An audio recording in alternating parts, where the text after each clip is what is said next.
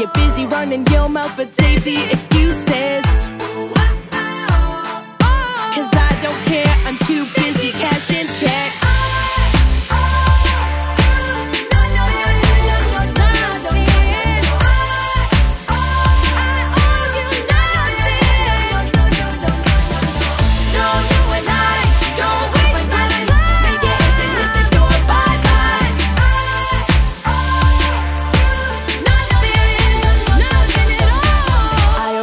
I owe you